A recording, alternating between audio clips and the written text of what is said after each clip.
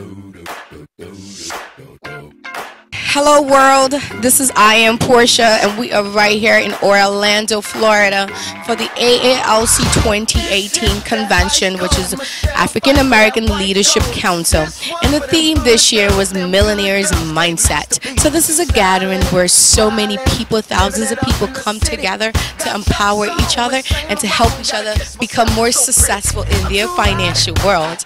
I cannot wait for you guys to hear the people that I spoke to today, the words of encouragement they have for you all, and how they keep going during hard times. Stay tuned. Standing to my right is Tristan Bush, the beautiful and the lovely Tristan Bush. Thank you so much for um, accepting this offer to speak to my world. I am Portia. Now, Miss Tristan is a, has masters in adult education and currently she is making 250k and guess what? Miss tristan used to be in hospitality and is a woman of god. And there's so much to know and love about this beautiful woman here but i'll let her speak to you guys a little bit more about herself. Okay. Well again i'm uh, tristan bush born and raised in Los Angeles, California, uh, South Central to be exact. Roses do grow from concrete. Um, I moved all the way to Baton Rouge, Louisiana to go to college, so I have a bachelor's degree in business and I have a master's degree in adult education. Uh, bachelor's is from Southern University, master's degree is from LSU.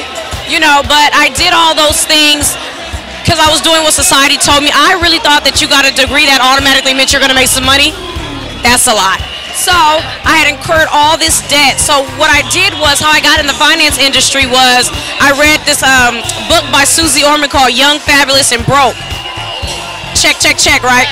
And it talked about, it broke things down, you know, how to, if you want to buy a house, if you want to buy a car. And I just always felt like if everybody knew more about the basics, we'd be much better off. So that's what kind of started my passion into the financial industry. Now, Ms. Tristan, I'm going to ask you a couple of questions. How do you stay focused in a toxic environment, in a toxic world? Mm-hmm. You know, that is a really good question because I really do believe that the world is toxic and it's only getting worse. And I have to go out of my way. Sometimes I have to you know, like social media. Social media is a good thing, but it can also be a curse, right? So I, I've had to like filter certain people. You know, if I, people are posting things that I don't like, I just, I, I, I won't be your friend anymore, right? But I'm really, really big on that and just being in a positive shell and making sure, you know, even I'm real bad. Sometimes I'll be sitting in the car and a song will come on and I'll be like, I can't even, I, I'll turn it off, you know, because what we don't realize is our subconscious mind is so powerful. And when we're saying things, even if it's in a song, music is powerful, but your subconscious mind doesn't know if that's good or bad. You know, so it's very, very important. So just not having certain conversations, being around people that are, that all they want to do is gossip, they want to talk bad about people. I just don't want to be around that type of energy. So I don't, I'm not rude about it. I'll just slide, slowly slide out the, mm-hmm. I want to do it. I believe in karma. I really do. I believe if you talk about people, people talk about you. You know, if you lie, people lie to you. And so I'm always conscious of what I'm giving out to make sure that's what I want to get back. Vacation requires separation. See, what's happening is we still hanging out with the same folks. We still having the same conversations. We still, try, you want to be normal. You still don't want your family and your friends to say, oh, what are you doing?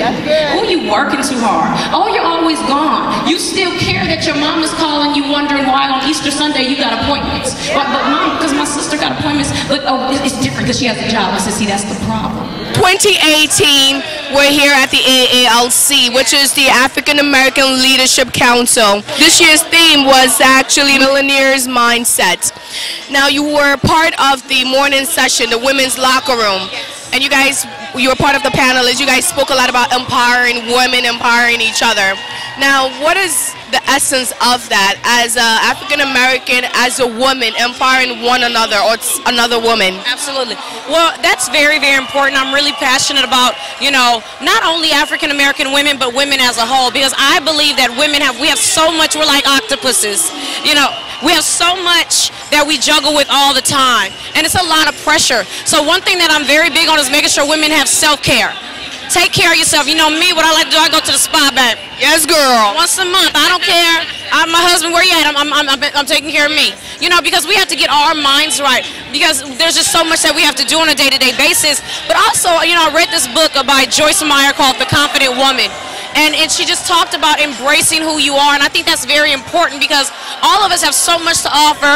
And unfortunately, women compete we compare with one another, you know. But what I found is if you give off that positive energy, and you know, I'm really big on complimenting a woman. Girl, that girl, your shoes are cute. Girl, you, because I understand that as women we don't do that a lot. But it really starts there, just knowing who you are, and then also being able to show some love to somebody else when you recognize that another woman's doing a great job. Absolutely. Positive affirmation. Yes.